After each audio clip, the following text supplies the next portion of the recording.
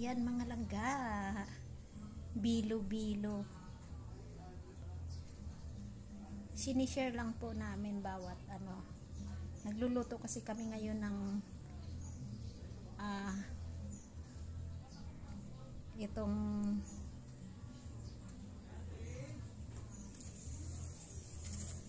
ano ngayon bilo-bilo linggo ngayon mga langga sinishare lang sa ano sa mga kapitbahay namin.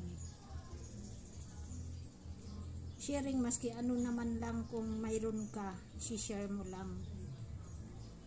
'di ba masarap sa damdamin pag nag-share.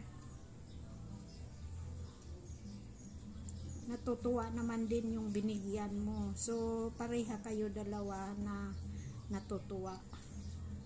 'di ba mga langga? Sana huwag na po natin ano huwag na tayong mag uh, ano pa naman basta sharing lang kung ano ang mayroon. Ayan. Diba? Ang sarap. Sarap sa damdamin sarap papagkainin bilo bilo